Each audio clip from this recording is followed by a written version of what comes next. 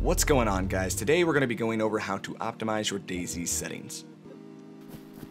DayZ is of course in an alpha state so it's nowhere near optimized but there are quite a few things you can do to get the game looking and performing a lot better than the default settings. To get started we're going to go ahead and tackle the in-game video settings. To access those you need to click on configure from the main menu and then video. Up at the very top here we have overall quality which we're going to leave it custom. We have rendering resolution, which we're also going to leave by default for now because we'll be changing that later on. Of course, we have brightness and gamma, which are completely optional and preferential.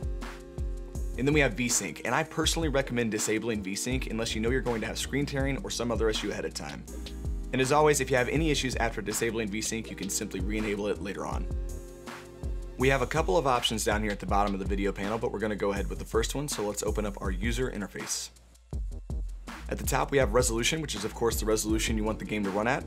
We have size, which is pertaining to the in-game panels and the font size within those panels, which we'll go over shortly. And then we have aspect ratio, and this is going to be the first option we make our changes to. If you have a standard 1080p widescreen monitor, you're going to want to select 16 by 9. It's really important that you have the proper aspect ratio selected because otherwise you will not be able to select the proper resolution afterwards. So now that we've changed our aspect ratio, we're gonna go ahead to the resolution and we're gonna try to find 1920 by 1080. Of course, you want your resolution to be the same as your native desktop resolution. And if you're unsure about what this setting is, you can simply right click on your desktop, select screen resolution, and see what your monitor's default settings are.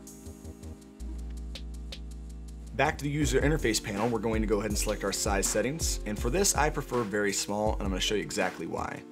If you happen to choose large or even very large, your text is going to get pretty huge in game, your panels are going to be large in the way, and just generally it doesn't look very clean to me. Likewise, your in-game panels are going to have a large font size, and the font size within the lower left corner of the screen when you're running around is going to be quite large as well. To show you the difference here, we're going to change this back to very small. As you can see, things look a lot cleaner, they're out of the way, and again, this is just a personal preference, so set this setting as you like.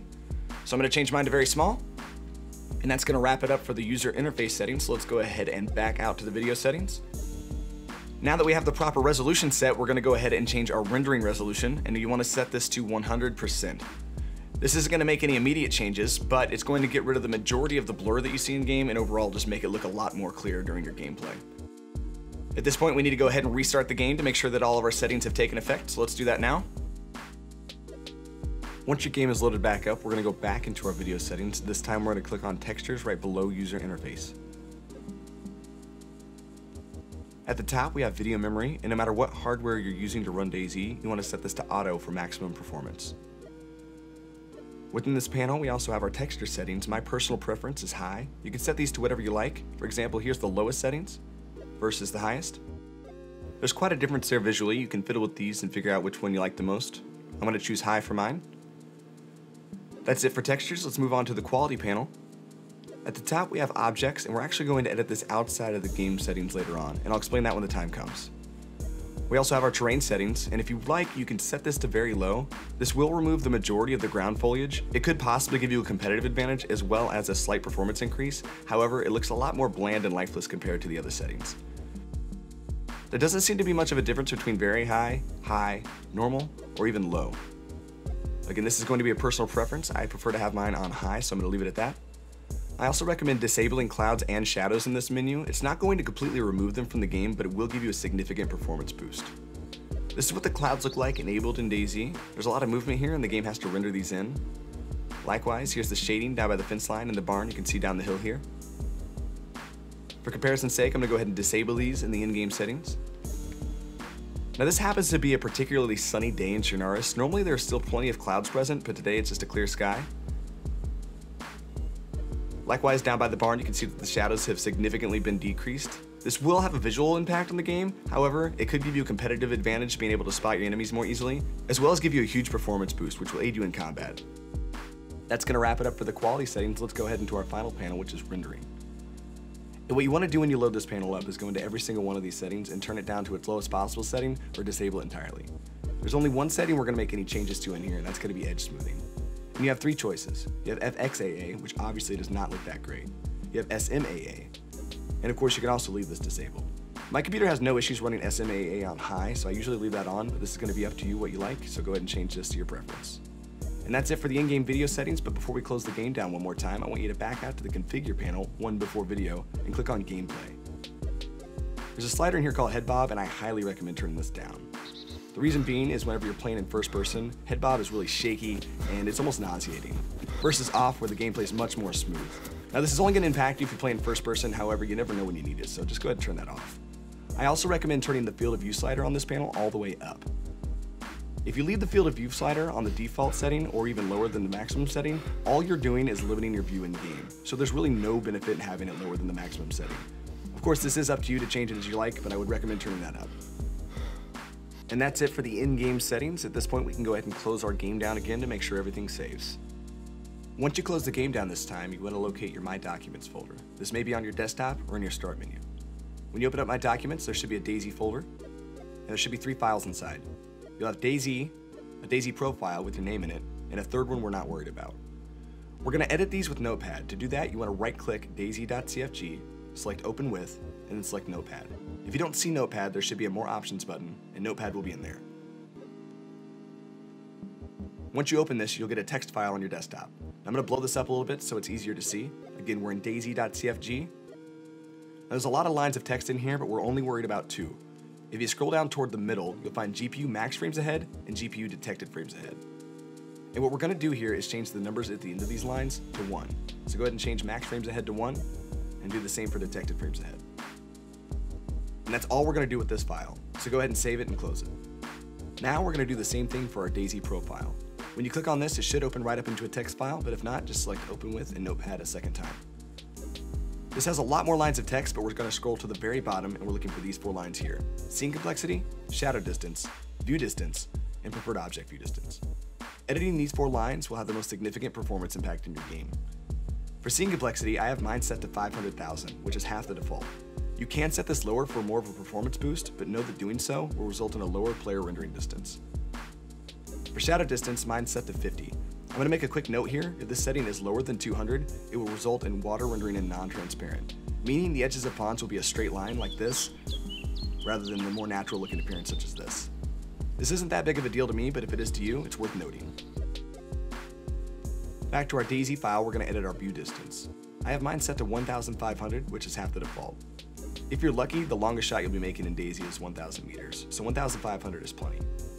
I'm going to change my preferred object view distance to 1500 as well.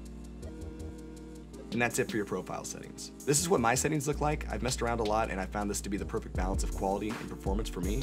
You can again mess with these as much as you need to to find that perfect balance on your end. Once you're done with that, go ahead and save it and close it down.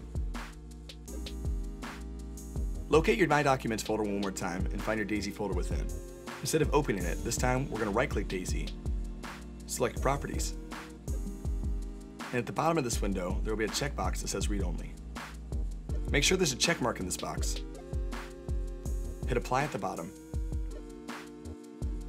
Hit OK or Yes to any prompts that may pop up. And hit OK at the bottom one more time to save. The reason we're doing this is so that DayZ cannot overwrite any of the changes we just made to the settings. Know by doing this that you will not be able to change your in-game settings in DayZ permanently. If you need to change your DayZ settings, simply right-click, go to Properties, uncheck Read Only, Launch the game while leaving this window open in the background, make your changes, close DayZ, then you can just hit read only and apply again.